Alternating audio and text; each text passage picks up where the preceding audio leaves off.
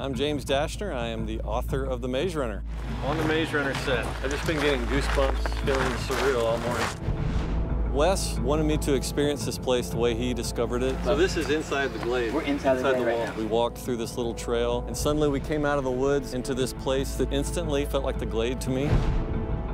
When Thomas wakes up in the box, it opens up, and it's a blinding light at first, and then looking up, and then boom, we cut to this image. Out of here, he gets to take his really first good look at this world. We're actually going to uh, shoot a Griever attack thing in here.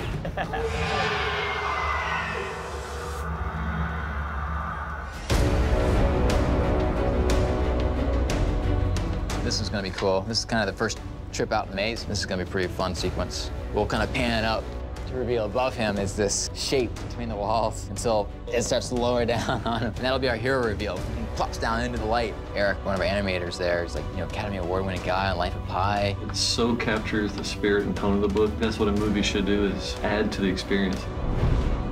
It's eerie to see something that's been in my head for so many years come to life like this. It is better than I could have ever dreamed. I think when we transfer this to a visual cinematic experience, is so much how I envisioned it when I wrote the book. I love it.